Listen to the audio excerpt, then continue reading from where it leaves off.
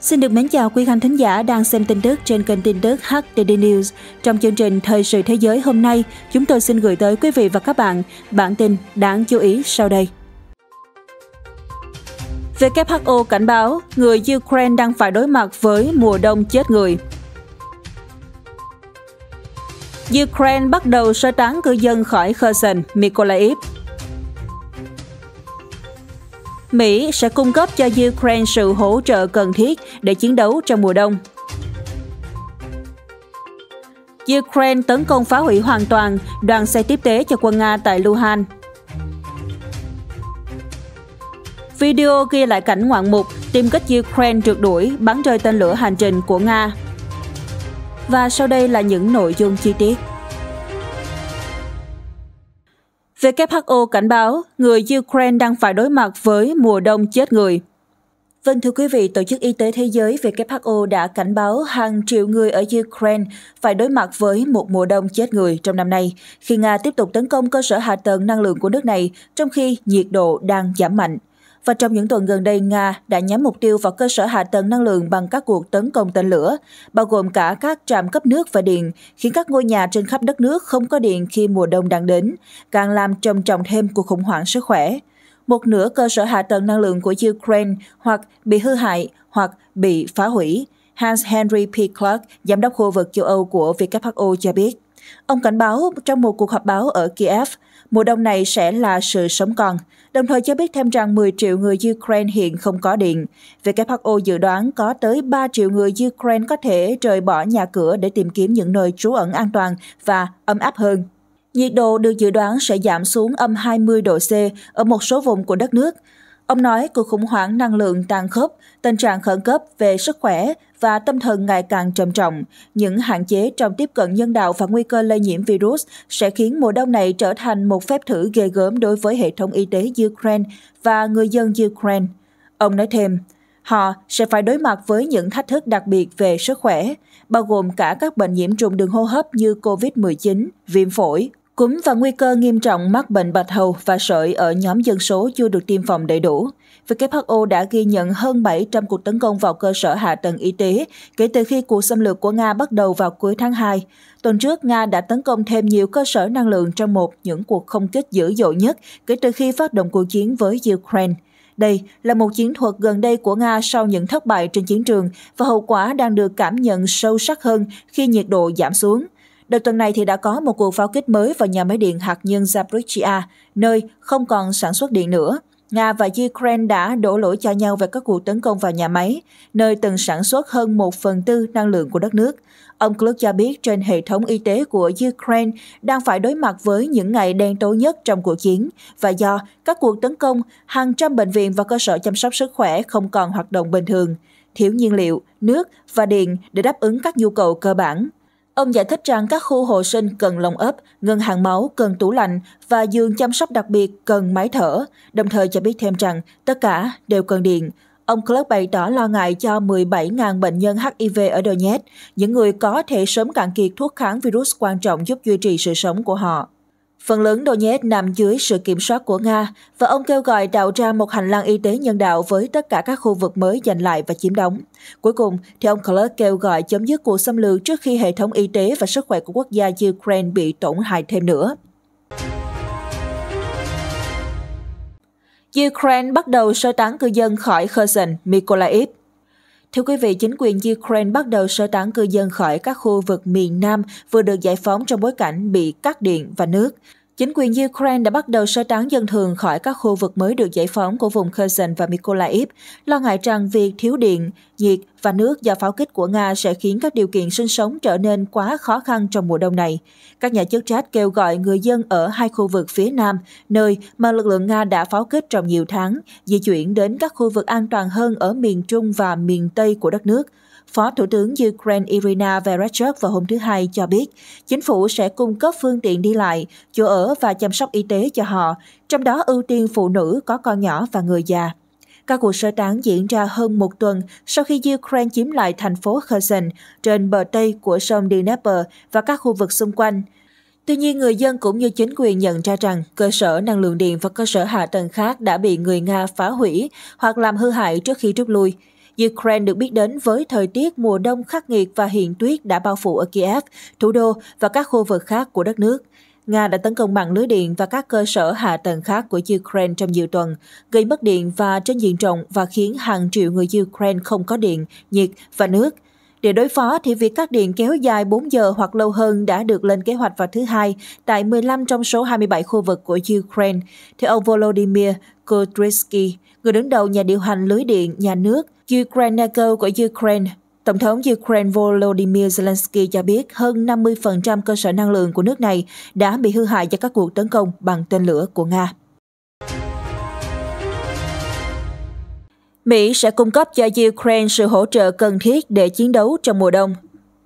Thưa quý vị, Hoa Kỳ quyết tâm cung cấp cho lực lượng vũ trang Ukraine các thiết bị và vũ khí cần thiết để tiến hành chiến đấu trong thời kỳ mùa đông, để Ukraine có thể giành lại tất cả các lãnh thổ thuộc chủ quyền.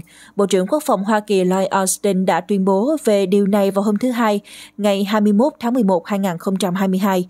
Trong chuyến thăm Indonesia, phóng viên thường trú của Ukraine Form đưa tin, Chúng tôi đã chứng kiến một số thành công của lực lượng vũ trang Ukraine trên chiến trường và khi mùa đông đang đến gần, chúng tôi sẽ cố gắng chuẩn bị cho người Ukraine các điều kiện chiến đấu trong mùa đông và tạo cơ hội cho họ tiếp tục gây áp lực lên đối phương trong những tháng ngày lạnh giá. Bộ trưởng Quốc phòng Mỹ lưu ý. Người đứng đầu ngũ giác đài cũng bày tỏ tin tưởng rằng quân Ukraine hiện được huấn luyện tốt hơn nhiều so với quân xâm lược Nga. Ông nhấn mạnh rằng cuộc đấu tranh giành tự do và khôi phục biên giới của Ukraine là chính đáng và Mỹ đang tập trung hỗ trợ những người bảo vệ Ukraine về mọi mặt để họ có thể đạt được mục tiêu và lấy lại từng đất đất thuộc chủ quyền của họ. Ông Austin cũng nhấn mạnh rằng Mỹ sẽ tiếp tục hỗ trợ Ukraine chừng nào còn cần thiết trong bối cảnh lo ngại rằng Đa số mới của đảng Cộng hòa tại Hạ viện Mỹ có thể ảnh hưởng đến quyết định của Quốc hội Mỹ về vấn đề này. Theo thông báo của Ukraine Forum, cuộc họp lần thứ bảy của nhóm liên lạc về quốc phòng Ukraine theo định dạng Ramstein đã được tổ chức vào tuần trước do Hoa Kỳ chủ trì. Kết quả của cuộc họp là các sáng kiến của một số quốc gia liên quan đến việc phân bổ viện trợ quốc phòng cho Ukraine đã được công bố.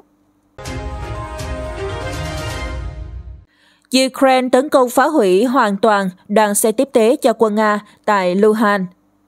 Quý vị thân mến, trong bản báo cáo vào sáng thứ Hai ngày 21 tháng 11, Bộ Tổng tham mưu Ukraine cho biết trong 24 giờ qua, giao tranh ác liệt đã diễn ra tại Bakhmut của vùng Donetsk, Bilohorivka của vùng Luhan. Một đoàn xe tăng trăm chiếc chở các thiết bị quân sự của Nga từ vùng Belgorod bên Nga đã bị phá hủy hoàn toàn gần Sirotine trong vùng Luhan và trong ngày qua, quân đội Nga đã tiến hành hai cuộc tấn công bằng hỏa tiễn vào cơ sở hạ tầng dân sự ở Kupian, thuộc vùng Kherson, đồng thời khai hỏa bằng các hệ thống hỏa tiễn phóng hàng loạt, dọc theo đường giới tuyến khoảng 10 lần. Belarus tiếp tục hỗ trợ cuộc xâm lược vũ trang của Nga chống lại Ukraine, cung cấp cho quốc gia xâm lược cơ sở hạ tầng, lãnh thổ và không phận của mình. Máy bay Nga thực hiện các chuyến bay trong không phận Belarus gần như mỗi ngày. Máy bay MiG-31K cất cánh từ sân bay Majulisi là phương tiện mang hỏa tiễn siêu thanh Kinzhan. Có khả năng tấn công các mục tiêu trên khắp Ukraine. Vì lý do này, chúng tôi buộc phải thông báo cảnh báo không kích thường xuyên trên tất cả các khu vực của Ukraine. Tại quận Kharkovka, quân xâm lược Nga tiếp tục cướp bóc thường dân. Người dân địa phương bị cướp xe hơi, xe máy và thậm chí là cả xe đạp. Hơn 100 quân Nga bị trúng vào hỏa tiện của pháo binh Ukraine đã được đưa đến bệnh viện tại thành phố Skadov của vùng Kherson. Trong ngày qua, lực lượng không quân Ukraine đã tiến hành 6 cuộc tấn công vào các mục tiêu của kẻ thù, 3 cuộc tấn công vào quân nhân, kho đạn dược và thiết bị quân sự của Nga và 3 cuộc tấn công vào các vị trí của hệ thống hỏa tiễn phòng không. Các đơn vị hỏa tiễn và pháo binh của Ukraine đã đánh trúng hai cơ sở chỉ huy của Nga, một kho đạn, một tổ nhân sự, kho đạn và khí tài cùng hai mục tiêu quan trọng khác ở vùng Melitopol tạm thời bị chiếm đóng.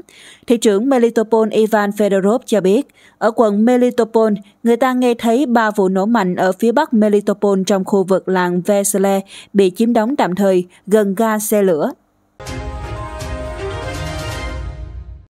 Video ghi lại cảnh ngoạn mục tìm kích Ukraine được đuổi bắn rơi tên lửa hành trình của Nga. Thưa quý vị, đoạn video được một số chuyên trang quân sự đăng tải, được ghi lại cảnh tiêm kích của Ukraine bám theo và phóng hỏa lực bắn rơi một chiếc tên lửa hành trình của Nga.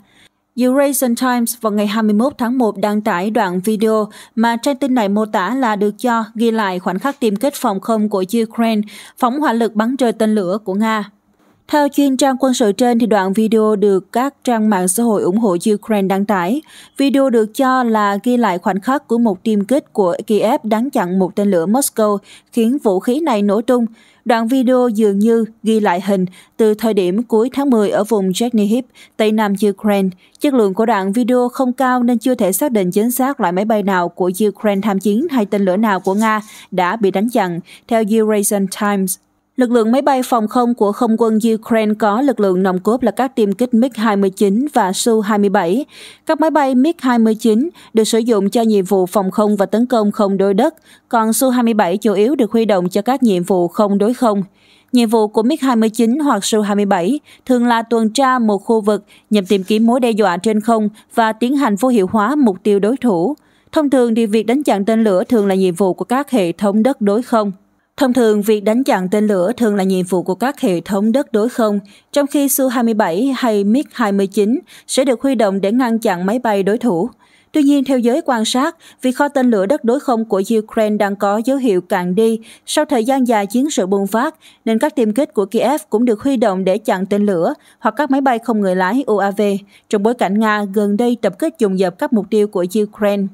Theo thông tin do Bộ Quốc phòng Ukraine chia sẻ vào hồi tháng 6, ngay từ giai đoạn đầu chiến sự, các phi công của Kiev đã được tập hợp để huấn luyện đặc biệt về năng lực đánh chặn tên lửa hành trình. Trong khóa huấn luyện, các phi công đã sử dụng thiết bị giả lập mô phỏng để thực hành đánh chặn tên lửa đối thủ. Tên lửa hành trình thường di chuyển ở độ cao rất thấp, đặc điểm khiến chúng khó bị phát hiện nếu chỉ sử dụng radar của máy bay.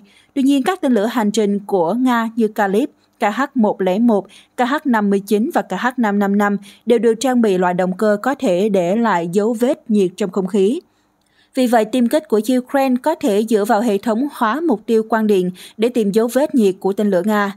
Trong bối cảnh Nga đang tăng cường phóng UAV tự sát vào mục tiêu Ukraine, Kiev cũng điều tiêm kích đánh chặn những vũ khí này. Tuy nhiên, sử dụng tiêm kích để đánh chặn UAV tự sát là rất rủi ro và không hiệu quả về mặt kinh tế. Một UAV tự sát chỉ có giá 10 đến 50 ngàn đô la Mỹ, trong khi tên lửa đánh chặn có thể có mức giá 1 triệu đô la Mỹ. Thêm vào đó, thì UAV tự sát có nguy cơ lao vào tiêm kích để tấn công. Hồi giữa tháng trước, một tiêm kích MiG-29 của Ukraine được cho là đã bị rơi vì một UAV tự sát của Nga đâm trúng. Và thông tin vừa rồi cũng đã kết thúc nội dung phần tin tức của chúng tôi tại đây. Mọi ý kiến đóng góp cho chương trình, xin quý vị để lại ở dưới phần bình luận hoặc gửi qua hòm thư htdnews btv gmail com Một lần nữa thì đội ngũ HTD News rất mong nhận được sự ủng hộ của quý vị khán thính giả. Còn bây giờ thì xin chào và gặp lại quý vị và các bạn ở những bản tin tiếp theo.